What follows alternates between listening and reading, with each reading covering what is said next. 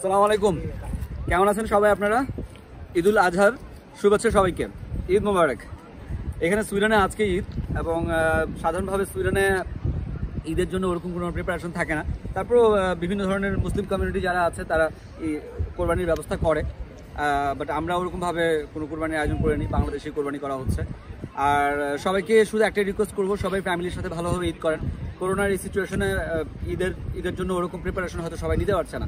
But আমার আমার request হচ্ছে সবার কাছে যে সবাই সবার হাত হাত ধরেন এবং চেষ্টা করেন আপনার প্রতিবেশী থেকে শুরু করে আপনার রিলেটিভ যারা আছে, সবাইকে সাহায্য করার জন্য। আমি আপনাদের সবাইকে রিকোয়েস্ট করব, আপনারা যেন সবাই সুন্দরভাবে ঈদ উদযাপন করতে পারেন আপনাদের ফ্যামিলির সবার সাথে। আর যারা ভালোভাবে উদযাপন করতে পারবেন না, তারা অন্য যেই রিলেটিভসরা আছেন, তাদের সাথে কথা বলেন এবং কীভাবে একজন আরেকজনকে সাহায্য করতে পারবেন, সে ব্যাপারে আপনারা প্রস্তুতি নেন। সবাই ভালো থাকবেন। এখানে সুইডেন আজকে সামারের টাইম এবং খুব সুন্দর ওয়েদার হয়েছে। দেখতে পাচ্ছেন কিলোসন বিচে আছি আমরা। আমার কাছে মনে হয় যে আমরা এখানে ঈদ ঈদ বলতে আসলে তেমন কিছু নাই সুইডেনে কারণ এখানে প্রত্যেকটা দিনই সমান।